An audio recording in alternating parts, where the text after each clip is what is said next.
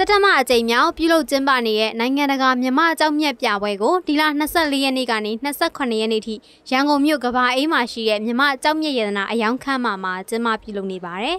။ဒီပြပွဲမှာမြန်မာ၊ထိုင်း၊ဟောင်ကောင်၊တရုတ်ဂျပန်၊ဗီယက်နမ်၊ဂျာမနီ၊အမေရိကန်၊အီတလီ၊အစ္စရေးနဲ့အိန္ဒိယစတဲ့နိုင်ငံပေါင်း17နိုင်ငံကလာရောက်ပြသကြတာပါ။နောက်ဆုံးမော်လက်ရဒီဇိုင်းတွေနဲ့အတူရတနာပစ္စည်းများပုံဖော်တဲ့စက်ပစ္စည်းတွေကိုပါလာရောက်ပြသကြတာဖြစ်ပါတယ်။ ပြဝဲကျင်းမပြုလုပ်ရတဲ့ရည်ရွယ်ချက်နဲ့ပတ်သက်ပြီးပွဲစီစဉ်သူကမစ္စည်းမာကိုခုလိုပြောပါတယ် We are the organizer of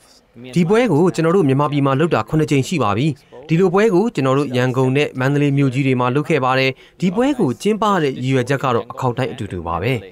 ကျွန်တော်တို့ကနိုင်ငံတကာအဆင့်မီပစ္စည်းကိရိယာတွေနဲ့အဆင့်မြင့်နည်းပညာရက်တွေမြန်မာပြည်စီကိုယူဆောင်လာပေးတာပါဒါကြောင့်ပြည်တွင်းကရတနာလုပ်ငန်းတွေက ဒီလိုပစ္စည်းကိရိယာတွေနဲ့နည်းပညာရက်တွေကိုဟောင်ကောင်ဒါမှမဟုတ်ဘန်ကောက်ကိုသွားစရာမလိုပဲဒီပွဲမှာပဲလာဝယ်လို့ရပါတယ်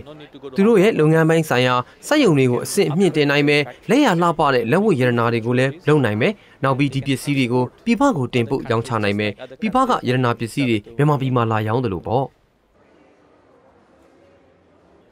ယူရီးယားကတ်စတင်ကုမ္ပဏီပိုင်ရှင်မတ်ရင်ရင်ထွေးကလည်းပြပွဲမှာလာရောက်ပြသရတဲ့အတွေ့အကြုံကိုပြပြပါတယ် အဲဟိုလာပြီးတော့ကျွန်မတို့လာရောက်ပြသတဲ့ဆိုတာအာဒီပစ္စည်းတွေကိုလာပြတာပဲဖြစ်တယ်ဟိုရောင်းဖို့အဓိကမဟုတ်ဘူးပေါ့နော်အရောင်းရတာမရောင်းရတာကိုအဓိကမကြောက်ဘူးဒီမြန်မာပြည်မှာဒီလိုလုပ်ငန်းတွေလုပ်နေပြီးအာပြီးတော့ဒီလိုပစ္စည်းတွေရနိုင်တယ်ဆိုတဲ့အကြောင်းလာရောက်ပြသတာပါရှင်မြန်မာနိုင်ငံရဲ့ကြောက်မြေရတနာတွေပေါ်ပွဲစီစဉ်သူရဲ့အမြင်ကိုခုလိုကြားသိခဲ့ရပါတယ်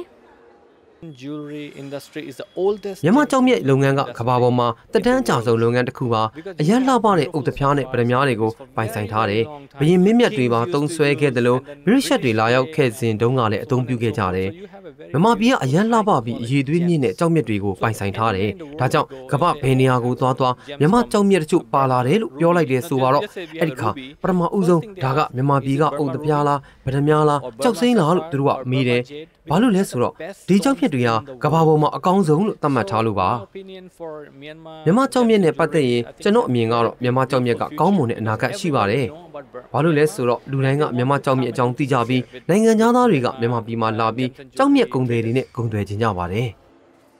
မြန်မာအကြောင်းမြတ်ပြပွဲဟာရန်ကုန်နဲ့မန္တလေးမှာနှစ်စဉ်နှစ်တိုင်းကျင်းပနေကြဖြစ်ပါတယ်။ဒီနှစ်မှာလည်းလာရောက်ကြည့်ရှုကြတဲ့အပရိသတ်တွေကိုရန်ကုန်ဘန်ကောက်ရန်ကုန်လေရင်လက်မှတ်6ဆောင်မဲဖောက်ပေးရလို့သိရပါတယ်။ပြပွဲမှာလာရောက်ပြသတဲ့ဆိုင်ငန်းတွေဟာပြည်ပကုမ္ပဏီအများစုဖြစ်ပြီးပြည်တွင်းကုမ္ပဏီတွေနှဲပါနေတာကိုတွေ့ရပါတယ်။ကျမကစ္စနာပါ။